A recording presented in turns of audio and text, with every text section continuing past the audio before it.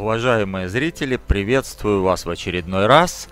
И в этот раз мы осмотрим современный Рижский микрорайон. Меня несколько человек просило показать что-то из современных рижских микрорайонов. И вот, смотрите, мы в микрорайоне Сканста. Это чуть ли не единственный современный рижский микрорайон, потому что строится у нас очень мало.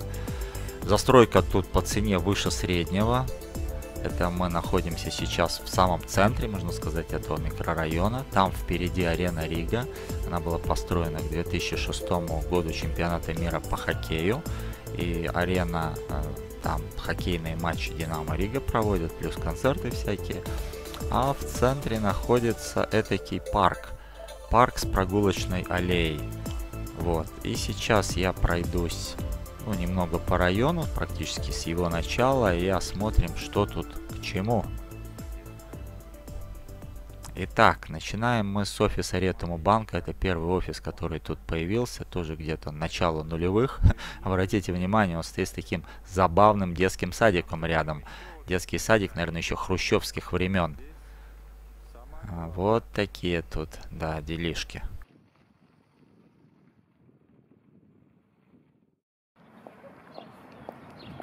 Вот еще один старый обновленный детский садик эпохи каких-то 60-х годов. А там вот высоточки на заднем фоне. Район Сканстас. Ну и этот садик появился в те времена, когда строили вот такие дома.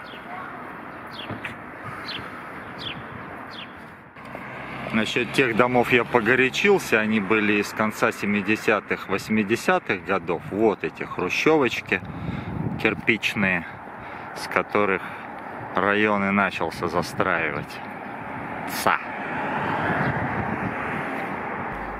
Дальше идет Рижский Олимпийский центр спортивного резерва, где тренируются дети, подростки, он был построен 15 лет назад, 2004-2005 год, сдан в эксплуатацию еще до открытия арены Рига.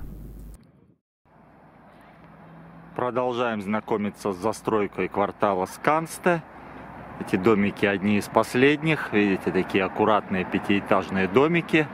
Дворы там на втором этаже сделаны. Зеленые зоны. И на первом этаже стоянки. Ну, наверное, на нулевом тоже. Вдалеке там здание банка. Это Олимпийский центр.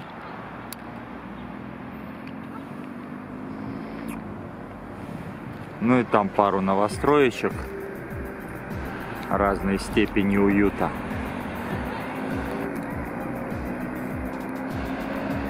Ну и слева таки преобладает советская застроечка, школы и жилые дома. А теперь идем вдоль новостройки. Квартиры тут дорогие, тысячи по две с половиной за квадратный метр. Евриков, конечно. И что мы имеем?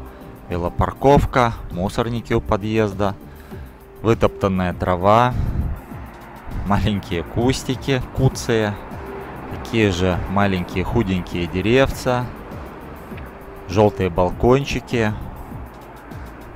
О, архитектура, ну как, ну ничего архитектура такая, скандинавская, нормальная архитектура. Там уже попроще впереди домики, особенно вот те два посерединке, справа тоже выше среднего. Но это, это средний класс где-то, учитывая как бы район. Но все равно, наверное, пару тысяч квадратный метр там стоит. Но это с отделкой, само собой. С белой или какой-то минимальной отделкой. А тут вот хорошо видна парковочка, как машины попадают на парковку. 1,9 метров, а наверху двор. Зеленый двор там с мини детской площадкой, скорее всего. Тут и магазинчики есть, но не все работают. Итак, вот я уже вышел в парковую аллею, и сейчас мы осмотрим, как тут все устроено.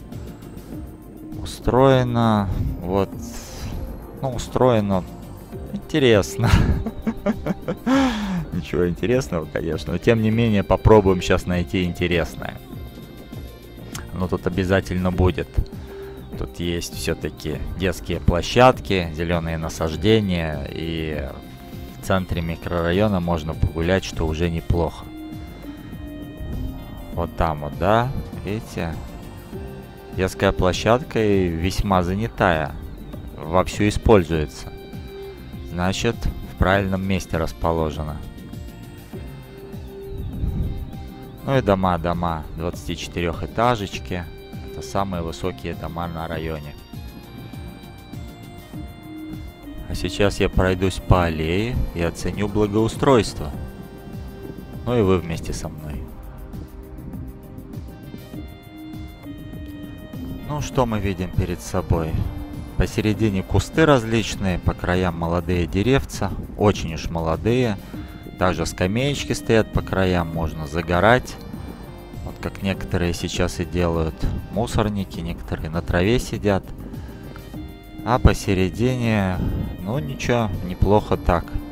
Этакий ландшафтный дизайн такой, простенький. Правда, вся эта аллея парковая устарела уже лет на 10, но тем не менее более-менее все это выглядит. Есть где прогуляться, есть пространство, там по краям детские площадки, а здесь сохранились советские гаражи, зацените, около 24 этажек.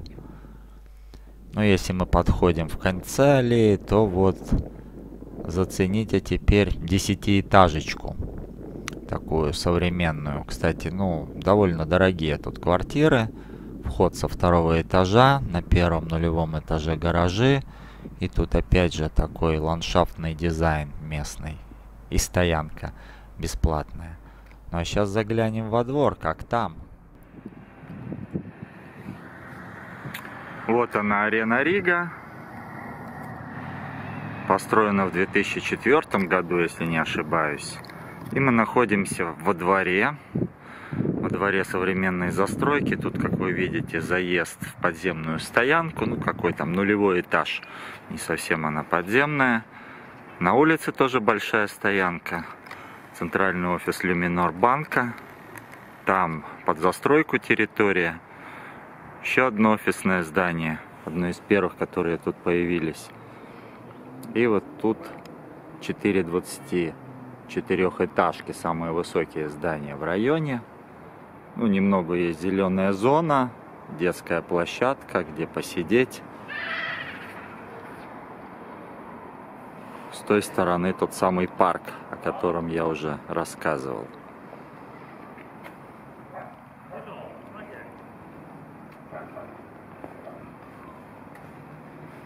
Ничего лишнего, аккуратно, симпатично. Двери прозрачные, по магнитному ключу вход. Ну и тут детская площадочка. Там мусорники. Вот они, мусорные баки.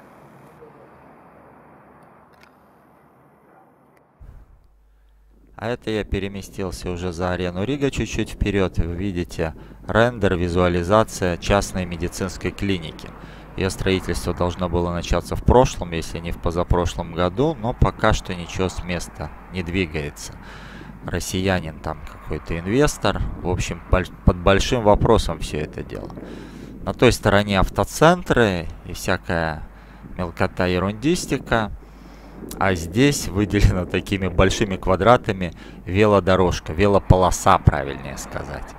Но не все так плохо с районом, он на самом деле довольно большой. Сейчас еще кое-что покажу. Здесь должны появиться ряд сооружений.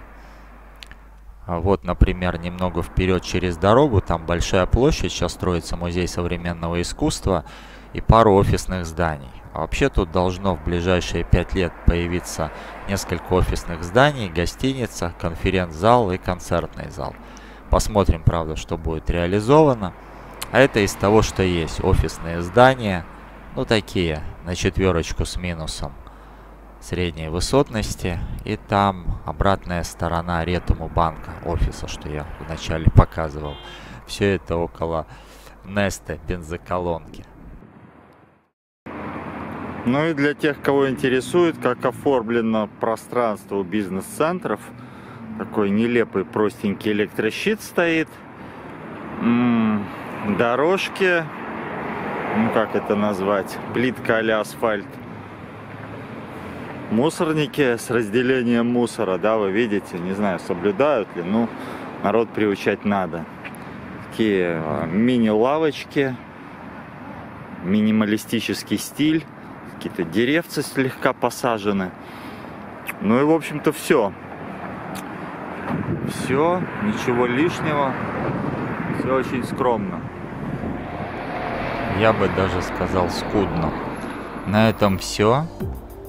Заглядывайте в мой живой журнал, где я делаю заметки по урбанистике и архитектуре. Ссылку я оставлю в описании. Также оставлю описание на квартал Сканста. Всего доброго, до новых встреч. Пишите, что бы вы хотели увидеть в Париде или вообще в Прибалтике.